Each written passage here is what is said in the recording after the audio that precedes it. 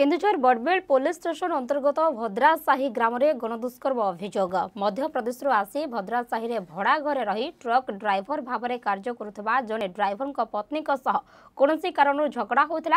এনে মহিলা জনক উত্তক্ত হয়ে ঘর পলাই যাওয়া সময় রৌডা ছক নিকটে দুইজন চিহ্না ড্রাইভর মহিলা লিফ্ট দিয়ে মহিলা জনক লিফ্ট দিয়ে উক্ত ট্রক্রে দুষ্কর্ম করুবা সহ